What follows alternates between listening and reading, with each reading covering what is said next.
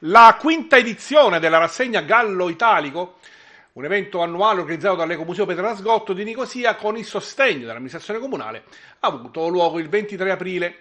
Questo evento mira a valorizzare e preservare la lingua gallo-italica con un focus particolare sull'educazione nelle scuole.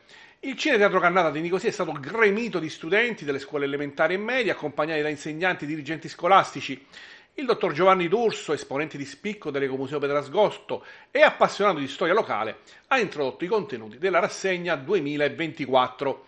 I dialoghi storici sono stati riscoperti, resi noti e pubblicati grazie all'instancabile lavoro di Pasquale Calandra, presidente del centro studi Will FPL Lavoro e Culture La Trincea dei Diritti. Da anni Calandra si dedica alla riscoperta di personaggi e documenti storici nicosiani. I dialoghi di Torre Fastuga, scritti in gallitalico, offrono una descrizione vivida della vita a Nicosia all'inizio del secolo, vista attraverso gli occhi di un visitatore statunitense critico verso gli usi e costumi dell'epoca. Le diverse scene sono state brillantemente presentate in lingua gallitalica da quattro studenti della scuola secondaria di primo grado delle classi prima E e terza C. La classe quarta C dell'Istituto Comprensivo Carmine di Nicosia ha magistralmente rappresentato la scena dell'arrivo dell'ospite americano Wills a Nicosia. La classe quinta C dell'Istituto Carmine di Nicosia ha portato in scena l'incontro di Fastuga e di Wills eh, con allora sindaco, Gurgone e un pranzo al ristorante.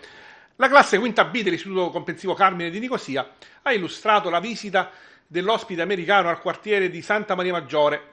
La classe quarta A dell'Istituto Comprensivo Carmine di Nicosia ha rappresentato la visita di Fastuga e Wills nell'attuale Piazza Garibaldi, ospiti del Caffè Roma, che allora sorgeva accanto alla cattedrale di San Nicolò. Le classi terza C, quarta A e quinta C dell'Istituto Carmine di Nicosia hanno rappresentato la visita di Fastuga e Wills al quartiere di San Michele con l'incontro dell'allora parroco che svolgeva anche la funzione di bibliotecario comunale. La quinta del plesso San Domenico del secondo circolo San Felice ha rappresentato la visita di Tore Fastuga e Wills alla Società Democratica di Santa Maria Maggiore ed il confronto con due paesani sull'allora morente carnevale nicosiano.